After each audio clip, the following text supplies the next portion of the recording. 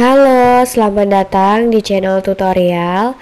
Pada kesempatan kali ini saya ingin berbagi informasi kepada teman-teman terkait cara beli token listrik di OVO terbaru uh, dengan mudah di tahun 2023 ya. Dan buat teman-teman yang gunakan aplikasi OVO, aplikasi ini sebenarnya multifungsi sekali ya. Karena selain bisa digunakan sebagai dompet digital, ternyata kita juga bisa uh, membayar tagihan atau memenuhi berbagai kebutuhan kita hanya dengan satu aplikasi ini aja. Oke, kali ini akan uh, saya gunakan aplikasi OVO ini untuk beli token listrik ya. Oke, langsung saja kita buka aplikasi OVO-nya. Kemudian kita masukkan security kodenya, bisa dengan fingerprint juga ya sesuai dengan pengaturan kalian.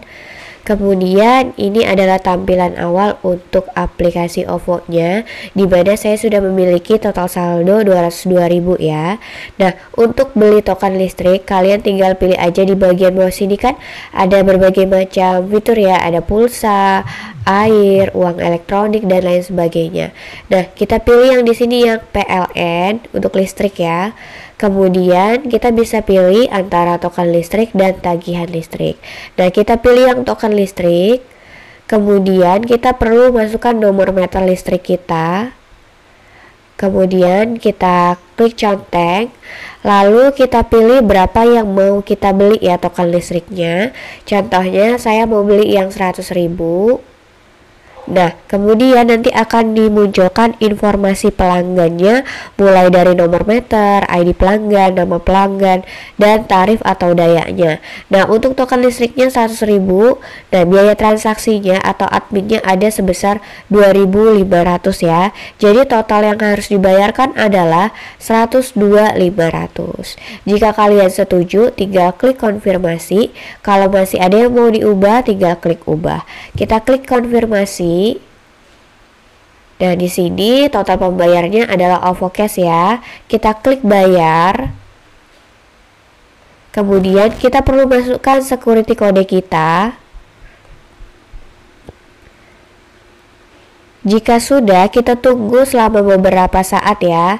Nah, pembelian sedang diproses, kita tunggu sampai uh, proses selesai ya. Di sini juga ada detail transaksinya kalau kalian perhatikan ya. Kita tunggu sampai prosesnya selesai dan kita berhasil mendapatkan token listriknya. Kita refresh. Oke, nah pembelian berhasil. Kita lihat untuk tokennya ini dia Strum token. Ini bisa kita langsung uh, masukkan ke listrik kita ya pembelian tokennya sudah selesai sampai sini. Oke teman-teman, ini dia tutorial cara beli token listrik di OVO terbaru dengan mudah di tahun 2023. Semoga bisa bermanfaat untuk kalian ya. Jangan lupa like dan subscribe jika kalian suka video ini dan kalian juga bisa berikan komentar di bagian kolom komentar. Sampai jumpa lagi di tutorial berikutnya. Terima kasih banyak.